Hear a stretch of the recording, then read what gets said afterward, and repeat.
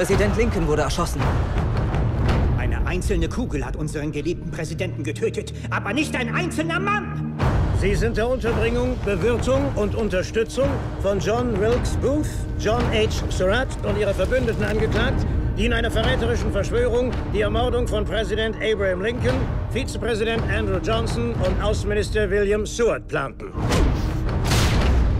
Wie bekennen Sie sich? Ich bin unschuldig. Sie wissen sicher, dass heute der Prozess gegen die Verschwörer beginnt. Und was haben wir damit zu tun? Wir verteidigen eine von ihnen. Mary Surratts Sohn war die rechte Hand des Haupttäters. Verstehen Sie, warum man sie anklagt? Bei einem Schuldspruch werden sie gehängt. Ich bin Südstaatlerin und eine aufopferungsvolle Mutter, aber keine Attentäterin. Ihr Sohn konnte als einziger fliehen. Das sind verachtenswerte Menschen. Menschen, gegen die du einst in den Krieg gezogen bist. Irgendjemand muss zur Verantwortung gezogen werden. Das Volk will es so. Zivilisten vor ein Militärgericht zu stellen, ist eine Gräueltat. Was Mary Surratt getan hat, war eine Gräueltat. Um das Überleben der Nation zu gewährleisten, würde ich alles tun. Sie müssen uns sagen, wo Ihr Sohn ist. Auf wessen Seite stehen Sie? Ich versuche, Sie zu verteidigen. Sie versuchen, sich selbst zu retten. Wurden bei der Angeklagten Treffen abgehalten? Viele und stets heimlich. Lügner! Meine Mutter ist unschuldig. Ich kann nicht ignorieren, was da vor Gericht geschieht.